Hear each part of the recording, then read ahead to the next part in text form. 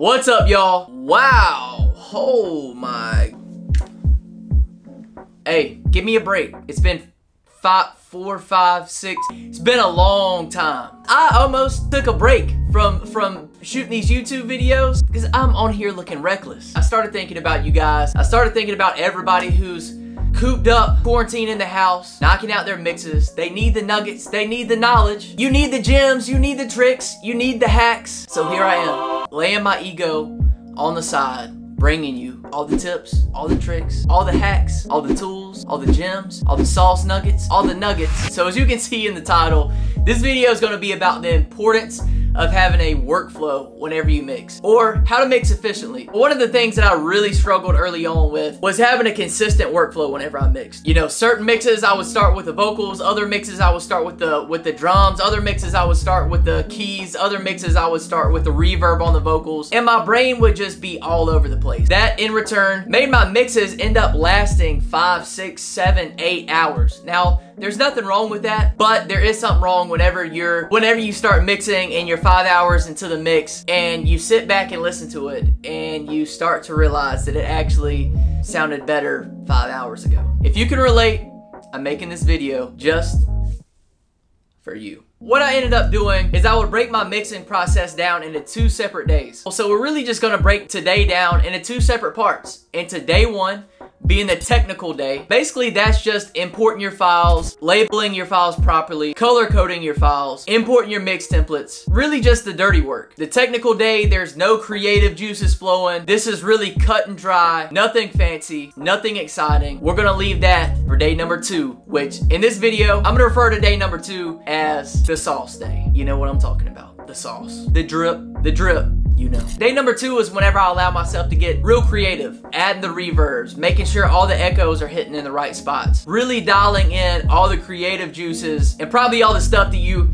really enjoy doing as a mix engineer. It really allows me to stay focused on the task. Whenever I have everything broke down and I'm not having to worry about all the technical things, whenever I'm not having to worry about the, you know, taking out breaths, whenever I'm not having to worry about if everything's color coded and I've got all my things labeled properly, it helps me really focus in. And whenever we get to the sauce day, my creative juices are totally flowing because I'm not having to worry about any of the technical things because we've already got that knocked out. With that, I'm gonna share my Pro Tools screen with you guys let's go ahead and jump into it.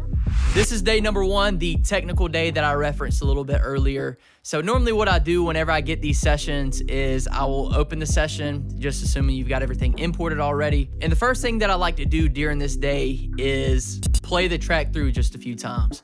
That way I can get an idea of the direction that the client wanted to go. I can, um, you know, see what effects they were using in certain parts. As I can see here, they had a Little AlterBoy, there's an imager, and that just kind of gives me a chance to tap into the mind of the client and really just get the clear direction of where they wanted to go with the mix. And as I played it through, uh, I'm typically not at the at the mixing station. I normally just kind of walk around the room, take notes on my phone of anything that kind of stood out or anything that I felt like I needed to take notes on uh, to come back to whenever I'm mixing. That leads me right into point number two, which is organizing and color coding my session. So in this example, everything is, fortunately, everything's labeled. Then what I'll do now is I'll just go through and color code the things uh, the way that I like to see them whenever I mix. So I have certain colors that I that I personally like doing. Um, for the hook, I'll typically do like a purple.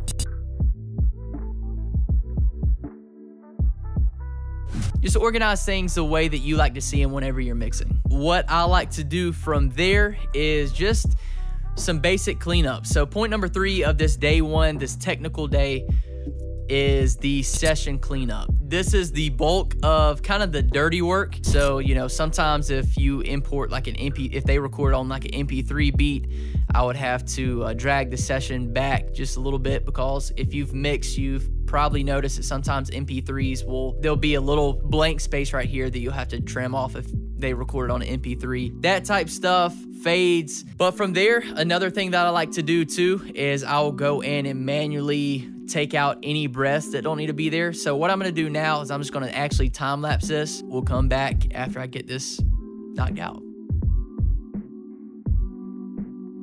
Wow. So get you a client that takes out a lot of the breaths and does all the, a lot of the fading for you before they even send over the session. That makes it very simple. So that's what uh, has happened here. That's why I was able to actually edit this very fast. Uh, and as you've seen too, is I just did a subtle fade, some basic things like that. That's kind of all a part of the just the real basic cleanup stuff. So that leads us really into the last part of day number one. At this point, what I like to do is I will typically import my mix template.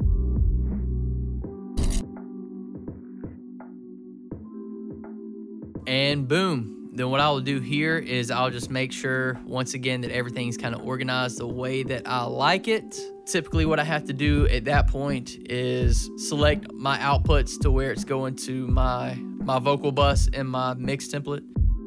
And from there, what I'll normally do during this technical day is kind of dial in some of the compression. Nothing like nothing real fancy, just really trying to get it in the ballpark for the sauce day. So that's kind of all I'm doing here. And I'll kind of give you a time lapse of exactly what I do here.